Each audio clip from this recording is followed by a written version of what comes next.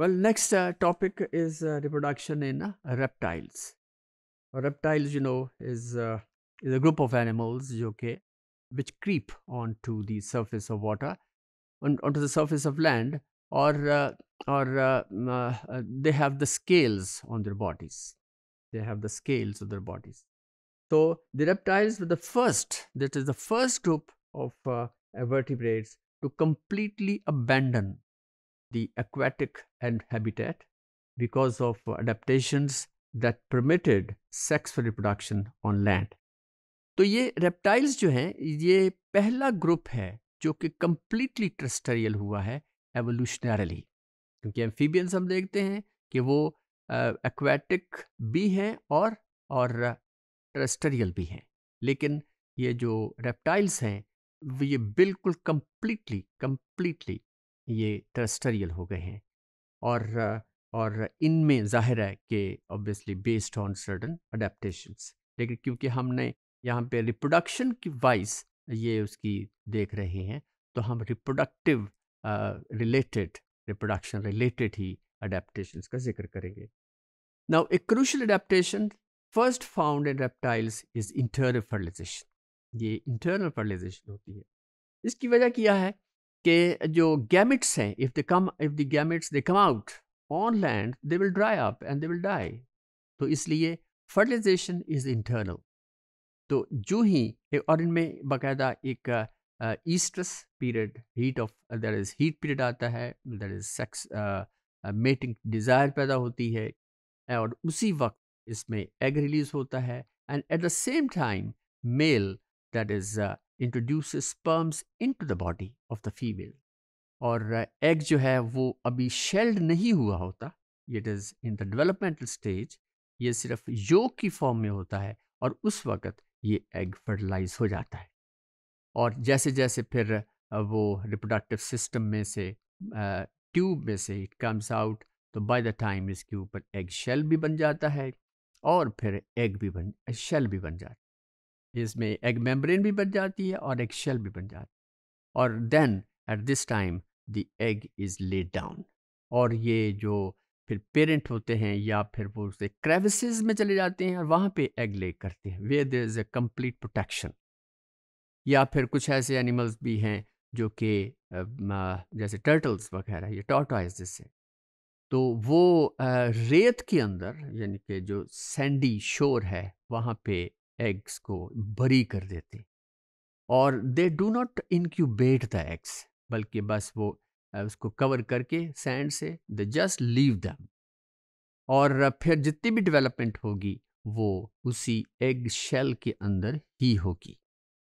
تو so many reptiles and they are oviparous they lay eggs but their fertilized eggs fertilization is internal and the eggs are deposited outside the body of the female now others are ovoviviparous کچھ ایسے reptiles بھی ہیں کہ وہ fertilisation development بھی اندر ہی ہوتی ہے اور وہ پھر young ones they are laid they are gone birth they are gone birth they form eggs and hatch in the body of the female and the eggs are born life now the shelled egg and اور اس کے علاوہ ایک protective جو ایک قسم کی embryonic protection کے لیے جو ایک اسٹرکچرس ہیں، وہ تو شیل ہے۔ پھر اس کے علاوہ پھر میمبرینس ہیں، which we call the extra embryonic membranes اور ایک ایمنیون ہے، جس کے اندر وہ ایکویٹک اس کے اندر ایکویٹک انوائرمنٹ ہے، جس کے اندر وہ کمپلیٹ ڈیولپمنٹ ہوتی ہے۔ تو تو ایمبریونک میمبرینس ہیں also first seen in reptiles یہ پہلی دفعہ ایولیوشنرلی یہ ریپٹائلس کے اندر یہ دیکھی گئی ہیں.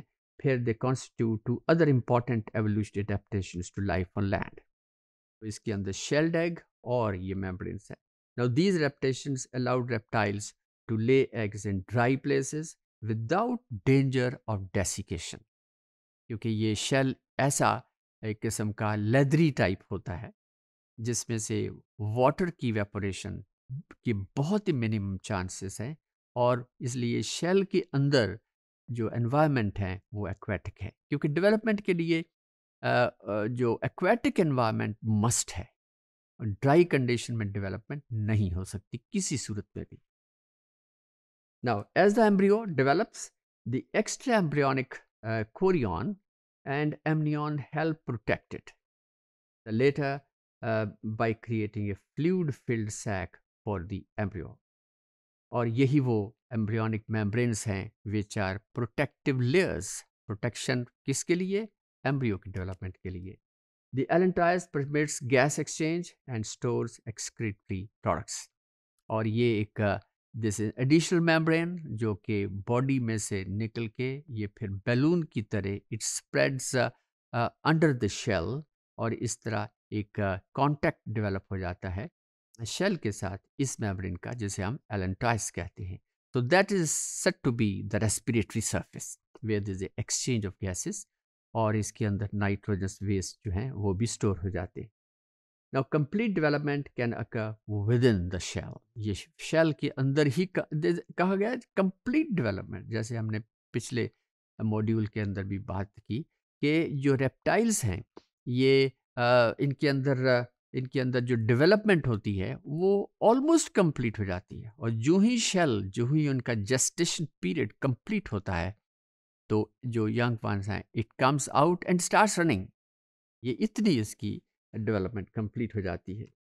نا when the animal hatches it has developed to the point that it can survive on its own or with some parental care there is a little parental care there is a little parental care یہ بھی نہیں کہہ سکتے کہ بالکل نہیں ہوتی کچھ تھوڑی بہت ون آر ٹو ڈیز تک اس کی پیرنٹل کیئر ہوتی ہے اور اس ڈائیگرام میں one can see the internal there is developmental stage اور اس میں دس اے لیزرڈ اور جو کہ ایک ریپٹائل ہے یہ اس کے these are the eggs which have been laid down by this female there is lizard اور یہ ایگ ہے جس کے اندر کمپلیٹ ڈیولپمنٹ ہو چکی ہے۔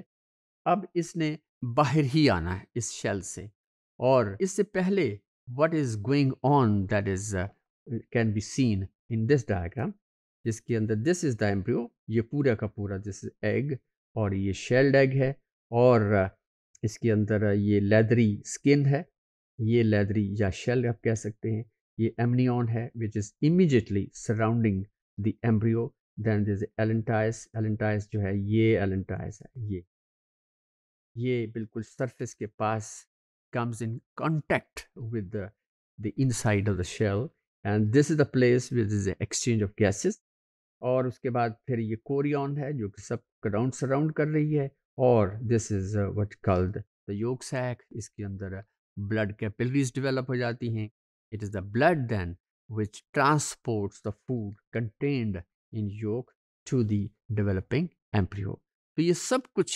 everything is available which are important, which are necessary for the development of the of the young, for the development of the embryo. Or by the time this yolk sac is consumed,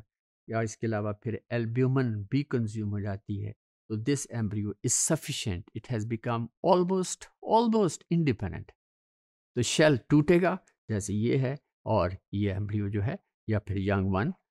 that will come out. So this is uh, these are the reproductive uh, again this reproductive strategy in case of in case of reptiles. So this is all about.